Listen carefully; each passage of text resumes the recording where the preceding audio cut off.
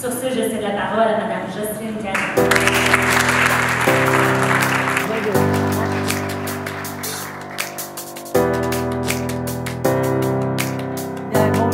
Je suis tellement contente d'être avec vous.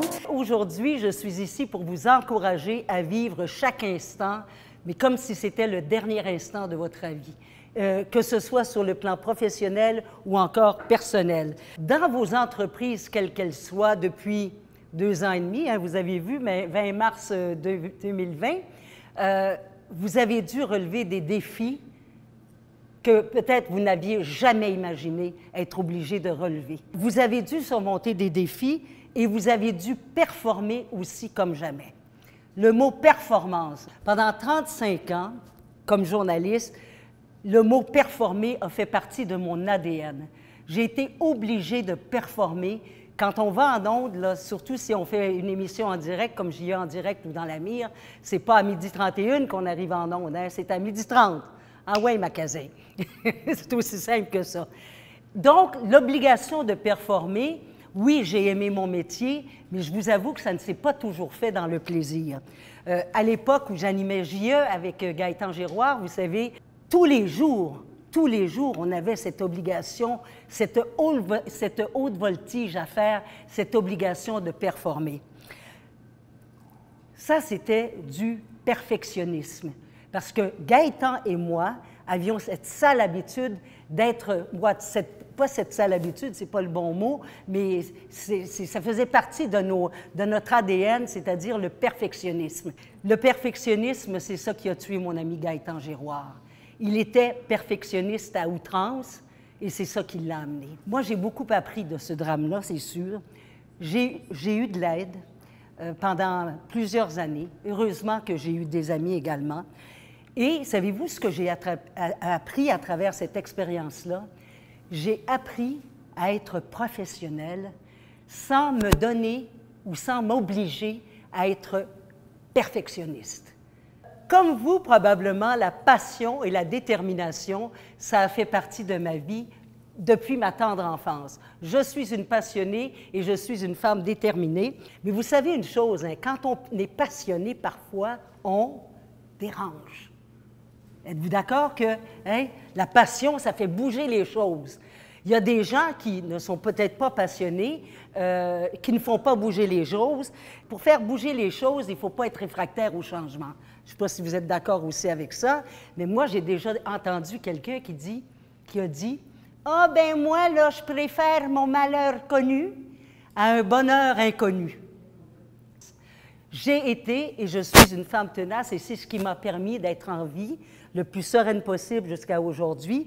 Et, euh, et- je pense que c'est peut-être comme ça pour vous aussi. La ténacité, si vous êtes aussi euh, vivant aujourd'hui et que vos entreprises fonctionnent, c'est que vous avez fait preuve de ténacité, surtout au cours des deux dernières années et demie. J'ai choisi dans ma vie d'être une battante plutôt qu'une victime. Et je suis certaine que ça aussi, ça vous concerne. Je trouve que le chemin est beaucoup plus facile éventuellement quand on est des battants que quand on est des victimes. Hein? C'est comme le gars qui va au gym ou à la taverne, en tout cas. J'ai grimpé marche par marche les échelons du journalisme et, entre autres, en 1981, quelques courageuses avons mis sur pied le premier colloque Les femmes et l'information. Le thème était Brisons le mur du silence. Et ça s'est fait de façon extraordinaire. Il y avait 500 femmes et hommes qui euh, participaient, qui assistaient à ce colloque. Et j'ose croire, j'ose croire que ce colloque a été une espèce de point tournant, de plaque tournante qui a fait en sorte que les femmes euh, se sont retrouvées beaucoup plus dans des fonctions euh, de présentatrices de nouvelles, de correspondantes parlementaires, de journalistes sportives, etc., etc. C'était du bénévolat, cette fonction-là, mais c'était important parce que moi, la fonction que j'avais, c'était d'aller chercher les commanditaires, l'argent. Et, euh, et on a réussi à aller chercher suffisamment d'argent pour inviter deux journalistes connus d'Europe euh, qui sont venus parler de leur expérience féministe en Europe. Vous le savez, plus on avance en âge, plus normalement la capacité d'être bien dans sa peau, d'être heureux, euh, ben, devrait être de plus en plus présente. En tout cas, moi, c'est ce qui m'arrive et je trouve ça formidable. Savez-vous, parce que je dis, je me connais et je m'aime quand même. Oh ben, c'est pas le fun, ça? Aussi, très important, je choisis mieux mes batailles. Parce que Madame Cazin, elle était de toutes les batailles. Tout, tout, tout, tout, là. Ah oui, tu as vécu cette injustice-là, tu as vécu ça, tu as vécu ça. Tu sais, j'ai pas été comme ça, je s'agissais. Moi, je suis comme ça dans ma vie, là. Wow, relax, ma, relax, Madame Cazin, relax, ma Cazin. Alors, euh, je ne ressens plus ce besoin d'être de, toutes les batailles. Aussi, je ressens moins de rejet. Ah ben, comment ça, du rejet? Ben oui, moi, j'ai grandi avec le rejet. J'étais la maudite française du village. Mais ça, c'est une autre histoire. Je m'en suis sortie. Je suis devenue canadienne québécoise. je me suis dit dans ma vie, Jocelyne, tu ne, rêveras pas ta vie, tu vas vivre tes rêves. Et cette phrase, je l'ai transmise à mes jeunes que je mentore et ils ont capté ça. Il y en a qui captent ça. Vivre ses rêves plutôt que rêver sa vie, c'est ce que je vous souhaite également. Euh, l'adaptation, on a parlé d'adaptation. La dérision, le sens de l'autodérision, ça aussi, ça fait partie de moi depuis plusieurs années et c'est ce qui me permet d'être en vie le plus sereine possible. Apprendre à s'adapter, on en a parlé un peu. Le mot-clé, c'est effectivement l'adaptation. Vivre, c'est s'adapter. Cesser de s'adapter, c'est...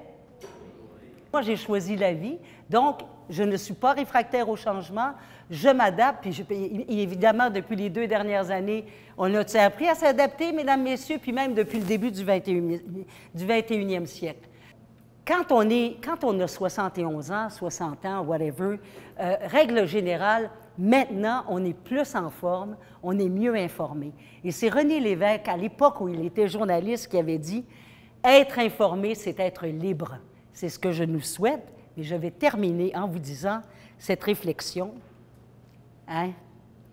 Avoir l'esprit critique, c'est vivre les yeux ouverts, c'est avoir la capacité de s'interroger de façon rationnelle sur ce qui nous est soumis, c'est refuser ce qui nous paraît indéfendable. Libre, informé, esprit critique, c'est ce que je nous souhaite. Merci beaucoup.